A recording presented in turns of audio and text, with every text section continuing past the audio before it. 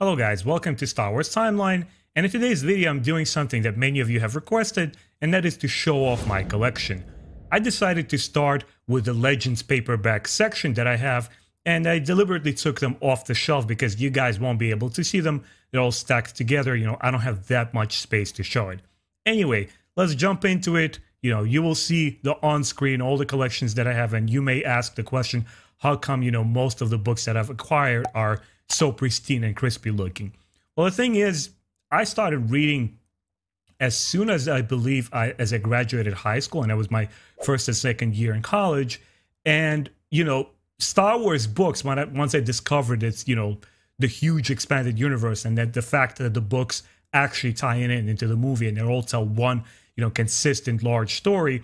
That really excited me, and I basically started to going to like any local bookshops or Barnes and Nobles, you know, in, in, the middle of New York City. We had really, really awesome one on Lincoln Square on on uh, 67th Street. There was a huge corner uh, Barnes and Nobles where I used to pick up most of these books. So I would go there and spend hours, you know, picking up the cleanest, most pristine cover that you know I can possibly find. That the pages inside are not bent. You know, there's no dents or like dog ears on the corners of the pages. And you know, I'm, I'm so much scrutiny went into picking uh, these books. That's why they look so good to this day. And honestly, I stopped using them that much. I don't read these uh, physical books because I pretty much also bought all of the ebook format, you know, digital versions of these titles. Um, and here we're looking over at the Clone era novels where there's some of my favorite stuff there. It's like you could see the Yoda Dark Rendezvous, actually, the book that I've recently talked about you know, this era helped me get into the prequels and really appreciate the story that George Lucas was trying to tell. Even though I didn't enjoy much of what I saw in, in the actual films, the books more than supplemented exciting thrills and awesome characters and great storylines. And it's just a, such a huge and awesome addition to the franchise.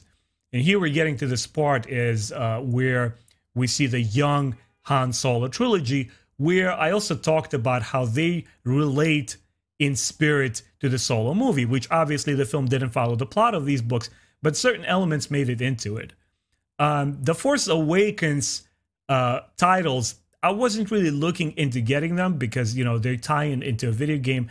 And sometimes I would question whether there would be a quality books or not. But as I became a completionist over the years, and I said, well, you know what? If I'm going to go for it, I might as well collect all of the paperbacks. And by that time, I believe it was kind of late for me to start getting the hardcovers because many of them were out of print by that time. It's something that I'm trying to do, and I will actually try to show off in my next video where you guys will see my you know small collection of Legends uh, hardcover books. Of course, anything by Tim Zahn is awesome. I have not read Allegiance yet or The Choices of One, Honor Among Thieves. So you'll be surprised, but there's quite a bit of uh, books from the legends that I have not read. You know, I claim to know quite a bit about the expanded universe because I constantly research. I have as many questions as you guys have. Sometimes I mix up my characters or certain events of the books. And honestly, it's been such a long time. Like for example, the, the Shadows of the Empire, you book the book you saw over there, or the Truce at Bakura, which you see on the screen. It's the first Star Wars book I ever read. You know, they kind of get hazy in your memory after so many years have passed and you got to go back to Wikipedia and read the synopsis of the book, and then I'm able to kind of review it and situate myself. Now, the X Wing series is something that I've been putting off for many, many years. I said, well, you know what? These are all about space combat. It's something that interests me a little less on the tier of like excitement, and I always go for the Jedi battles and lightsaber duels first. So I wanted to leave these for the last but I finally got to it, and I said, well, you know what? No, let's get into it because you know uh, Michael Stackpole, Aaron Allston, they're some of my favorite Star Wars authors. So I'm now on book four, and I'm immensely enjoying it. It's a fantastic, fantastic series. I honestly could recommend it to anyone. Courtship of Princess Leia, that was also one of my earliest and favorite books. Obviously, the original uh, uh, Thrawn trilogy goes without question. These books that you guys see here I've acquired when they were the last year and a half that they were on the shelves before they added that uh, yellow Legends banner, which actually I don't mind. I think it kind of looks pretty cool. It doesn't tarnish the look of the books in any way. It still has that vintage appeal. Um, you see here by Kevin J. Anderson's The Jedi Academy trilogy, my all-time favorite books. Also, I Jedi. I mean, Legends had plenty of awesome stuff. Yes, there was some mediocrity. There's a couple of books here. We're getting into the uh, the Dark Saber trilogy or the Children of the Jedi trilogy. It's actually four books, and uh, the Crystal Star and a Planet of Twilight, which a lot of fans for some reason have a pro- problem with. They don't enjoy this book as as much. I do. Um, here we go. This is the Black Fleet Crisis, which was also pretty damn awesome. I really enjoyed that series a lot.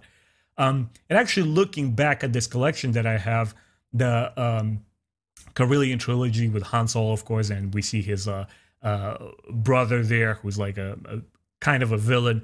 It's really fun to look back at these. Look at the wonderful covers of the Spectre of the Past and Vision of the Future.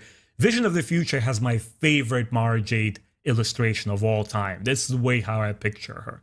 And you're looking back at these covers and all of these books that I read through my college years, uh, and of course the Vector Prime and the beginning of the New Jedi Order, which was fascinating. I mean, it was so exciting, and you know these books got me through so much dark times in my life. You know, when my older brother passed away, I was depressed for a very, very long time, and you know this was my escapism. I had tremendous pressure in college because I had to do well in school, pay a lot of money for my tuition, go to work, and study at the same time. So, you know, I don't let myself down, I don't let my parents down.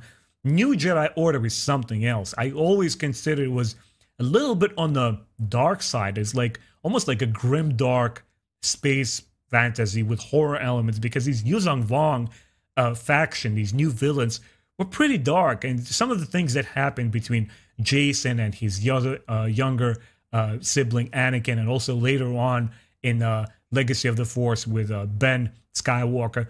Some really, really harsh to accept stuff, and I was like, oh man, this is this is pretty dark for space fantasy that Star Wars is supposed to be. You know, this family saga. But I embraced embraced it all the same because the books of Star Wars have their own tone. And even when you go from series to series, from like New Jedi Order to the uh, Legacy series to Fate of the Jedi and the previous, you know, Bantam era stuff. Each era brings its own sensibility, its own style. The Joiner uh, King trilogy, the Swarm War trilogy, that also had a very unique style to it. And you really had to keep an open mind and you know and adapt to what these authors are trying to bring to you. Because believe it or not, I don't ever recall talking to somebody or meeting other fans and I met quite a few of them actually physically seeing people in Barnes and Nobles. A lot of people ask for my recommendation after they heard me speak for a couple of minutes that, you know, I really know my stuff with legends. I can situate myself in terms of the timeline. And I've never met a person who was consistently pleased with everything that Legends had to bring to the table. There were always people and fans who were like, mm, I don't know. Like, for example, Millennium Falcon over there.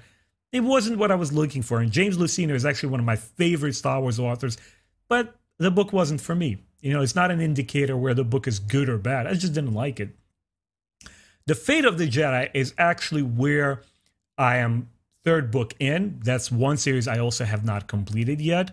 Um, I am enjoying it. It was a little bit hard to accept in the beginning this whole new concept of uh, a new peril that the Jedi are in. It was a tough sell in the beginning, and I actually know quite a few people who don't like the Fate of the Jedi series. I kind of did maybe I'm a little bit more lenient than other fans, guys. I'll be honest with you. I'm not too highly critical. Like I know my personal taste. I know what I'm looking for, uh, but I'm not too critical because I try to keep an open mind. And I understand these are not movies. These are not specifically precisely George Lucas's vision. Even though a lot of this stuff was under his like indirect uh, control or supervision, so to speak. Like for example, this Young Jedi Knight series. Pretty sure it's something that George Lucas himself didn't have a lot of say in. He's like, okay, we have established there's Jedi twins, Jacen and Jaina, you know, ball with it, see what you can do. And uh, Kevin J. Anderson and his wife, Rebecca Moesta. Um, some of you guys who know my channel, who visited the Facebook, I started this uh, campaign on uh, uh change.org trying to bring these back in print because I absolutely love them. And guess what? What got me into these books was actually the covers. I mean, look at them. They're absolutely amazing. These are illustrations by David Dorman, and I recently did also a video for him, like an artist highlight, because I love talking about these artists. And they sell these books. They're so full of story and rich with character, and they they just built that excitement. You know, I am one of those guys that does buy a book based on the cover. You know, obviously I know about these authors and I know what the general direction is, but I just I'm such a sucker for great art. You know, I'm an artist myself, and it's just wonderful to see these uh, two hardcovers of the uh, Young Jedi Knights series, the compilations. Uh, I was able to get these two volumes quite recently off eBay for a decent price. Uh, the Last Jedi uh, paperbacks are also a recent purchase that I was trying to find something that I could buy in a bulk from a single person, and fortunately, I found somebody on the uh, eBay that had them in nearly perfect condition. You could tell this dude was a collector, you know, and uh, we conversated a little bit back and forth, back and forth. He was able to bring down the price just a bit for me, and I was so happy with these purchases. It's as if I bought them myself. I tried to buy as much stuff as possible firsthand. You know, I want to be the first owner, but unfortunately, some of these books are really, really hard to get. You know, and even though some people post them on this eBay or other, you know, uh, reseller kind of like uh, online auctions, sometimes they don't really represent the description that people try to put on them. Uh, this Jedi Apprentice series is the latest purchase I had actually earlier this year, I believe in the spring. Again, I got them from this other person. It was all collected in in one uh, sale on on eBay. Again, I was so happy with it, and it's something that I'm really curious to get into because it focuses on Qui Gon Jinn. And after reading the canon novel um, uh, Master and Apprentice with Qui Gon Jinn and Obi Wan, I was completely blown away how much I cherished and how much I missed Qui-Gon Jinn, to be frank with you guys. It was almost a revelation to me, like, oh my God, I am a prequels fan, you know? Uh, again, it's the prequel films for me could have been a lot more, a lot more consistent, much better directed, but so what? You know, there's still so much content to enjoy.